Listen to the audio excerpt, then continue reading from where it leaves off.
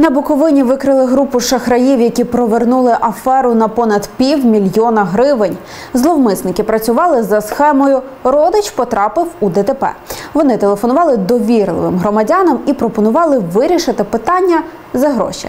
Повіривши шахраям, 72-річна жінка віддала їм 11,5 тисяч доларів США та 20 тисяч гривень. 85-річна – понад 130 тисяч гривень та 82-річна бабуся – 30 тисяч гривень. Наразі підозрюваним обрано запобіжні заходи. Слідство триває.